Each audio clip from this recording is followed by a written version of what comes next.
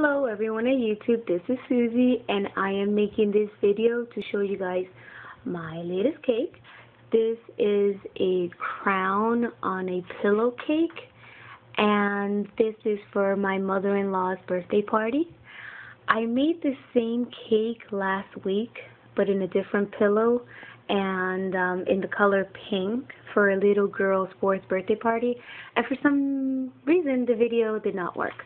So I'm making um, a video of this one and hopefully you guys will like it. I'll try to put up some pictures of the other one which was also very beautiful um, up on YouTube in still pictures along with this one. Um, anyway, uh, like I said, this is a carved pillow cake.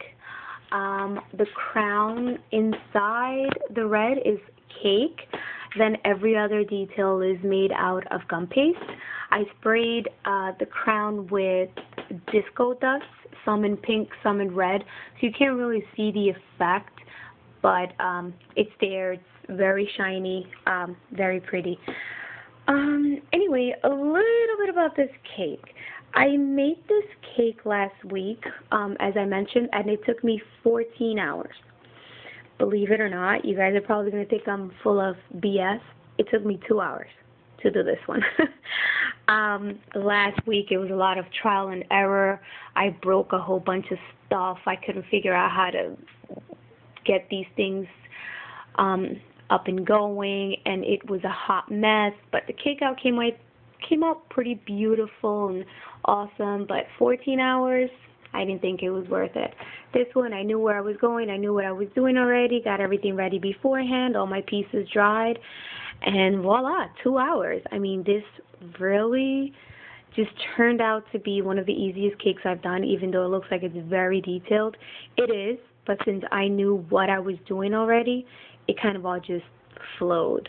Um, anyway, I just um, dried some gum paste pieces on a heart mold, six, six inch heart mold, um, overnight, and I made the beads with a push mold as well. The fleur de lis was with a mold, and I just kind of added all these little decorative details by basically cutting and pasting um, each piece onto each other.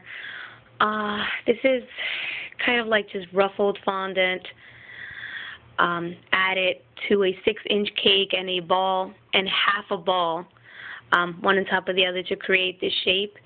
Um, and pretty much if I sit here and explain everything, it'll be 14 hours. But anyway, you guys get the clue.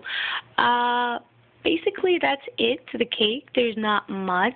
I made this scroll, um, and it says Para la Reina del Día, Feliz Cumpleaños Cecilia, and basically that translates to the Queen of the Day, Happy Birthday. Um, her name is Cecilia, my mother-in-law. Um, so we just kind of wanted to make it like, you know, she's royalty today. So this cake was definitely fit for the occasion. Um, aside from that, uh, that's all there is to the cake. It's pearlized with an airbrush, and I did add some shadowing with gold, but you can't really see it on here, but you know, you guys get the picture. Anyways, I hope you guys like the cake. I'd love to hear from you, hear your comments. Let me know. Thank you to everyone that keeps subscribing and everyone that watches my videos. I really appreciate it, and I hope to hear from you guys. Thank you so much. Bye.